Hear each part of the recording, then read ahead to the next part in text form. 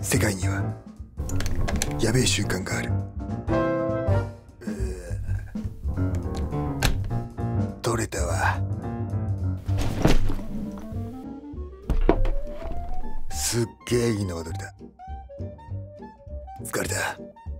ちょっとやや意識が朦朧としてるけど。いやでもね CM なんすよね。タレントさんもすごい有名な人で。すごいスケジュール過密な時にね今日だけ空いてたみたいな3時間で撮りましたみたいな1テラバイト。ブラックマジックプロダクションカメラ 4K なんですけども。これはですねアミーラですって言って押し通したんです。誰も気づかなかったです。まあ1テラバイト。まあこういうのはですね、まあ、すっごい今意識が朦朧としているんですけども。でもまあ当日中にやんないと。バックアップは。なのでもうやりますよ。すごいでしょこれ。なんかもう1テラありますよ。おっしゃ。おっしゃ。よっしゃ完璧だ。バックアップ。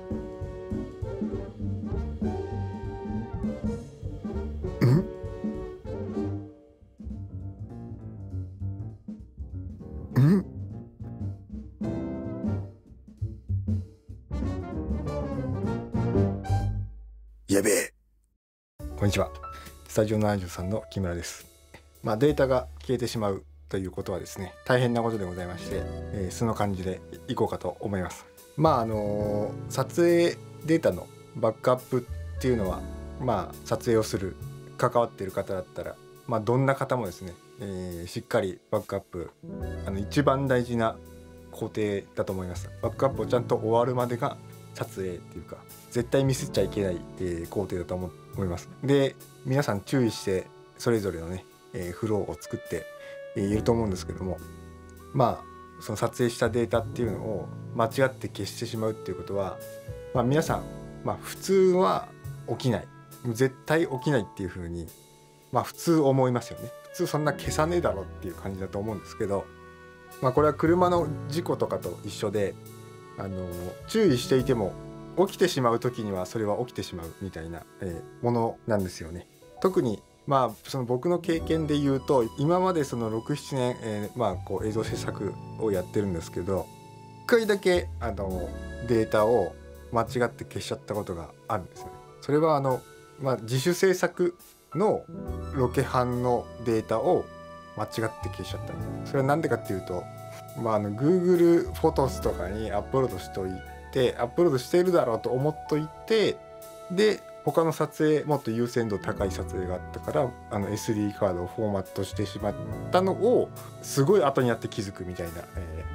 ことが一回あったんですけど、まあ、長くやってると回数やってると、まあ、どんなに注意していてもあの、まあ、事故に起こると一緒で起きる時には起きるんですよねそういうことがね。でまあ起きた時に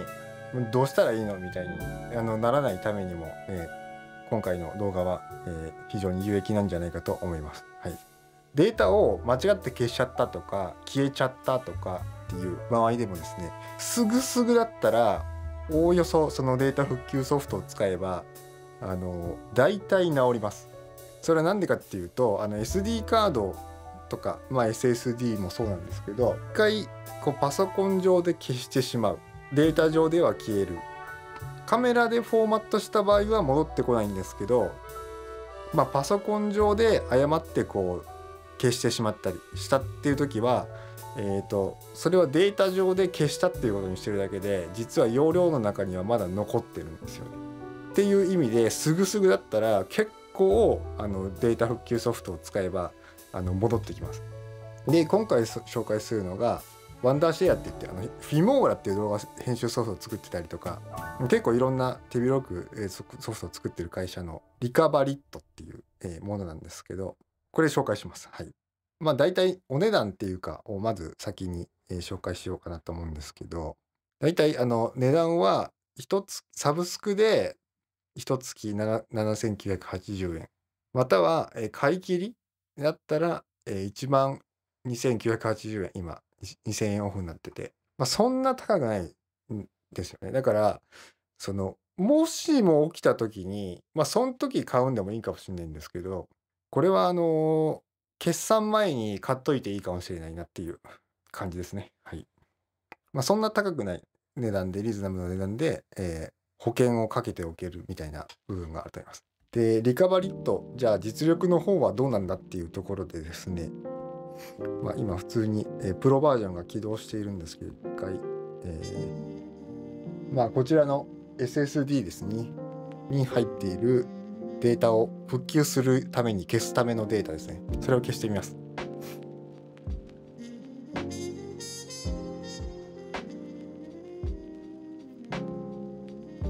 でここで消えましたと。でゴミ箱にも入ってるんでこれも消します。あちょっと消しますからにするですね。これであのデータ上にはもうないしさっきダヴィンチで編集してたのも全部リンク切れになってしまって。全部リンク切れになってしまって。おどこ行ったってことにななると思うんですけど。これはですねじゃあ復旧してみたいと思います。リカバリットですね。はいそうすると、えーこれがまあホーム画面なんですけどもまあ、HDD やデバイスから復元っていうところのタブになってましてさっき消しちゃったのがこれなんですよね。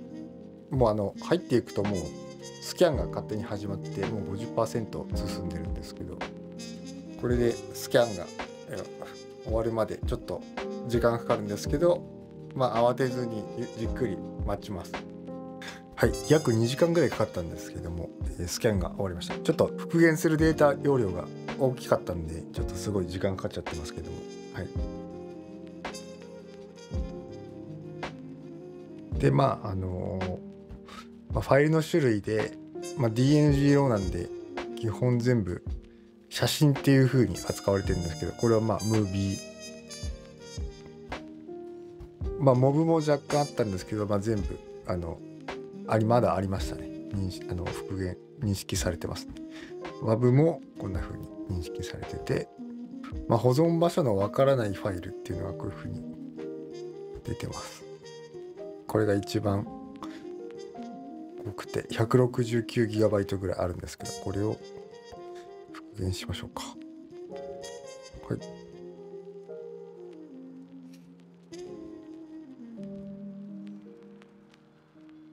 まあちょっとあのデータ容量が大きい時は、まあ、それなりの時間もかかるんですけども、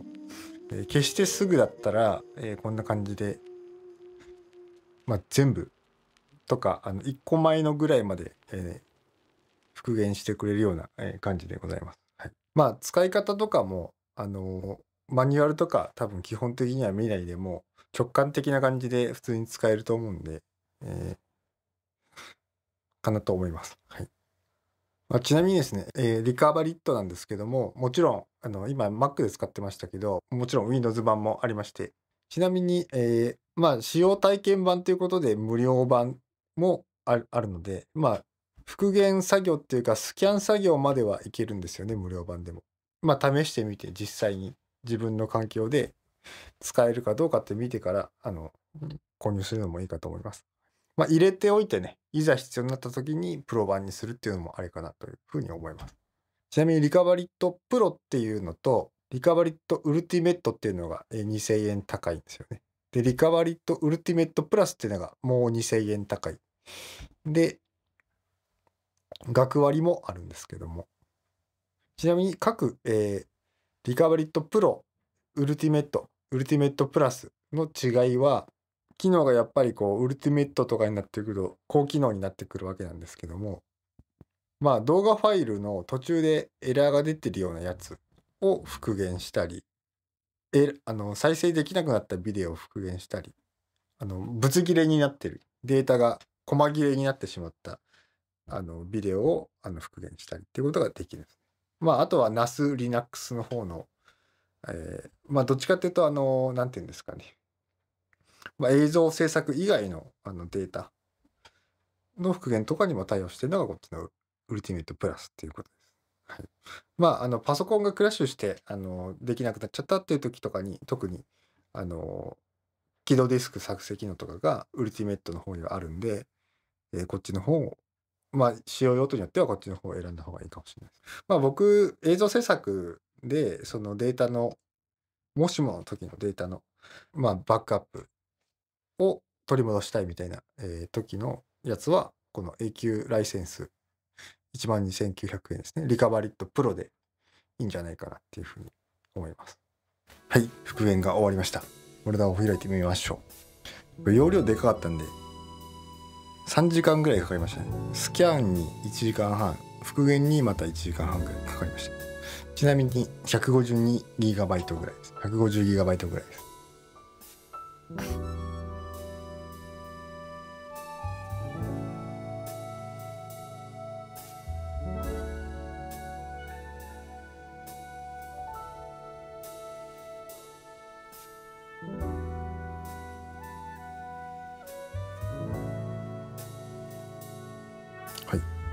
はい。いかがでしたでしょうか、えーこんな感じですね。えーワンダシェアのリカバリットの、えー紹介でございました。そうそうね、データを、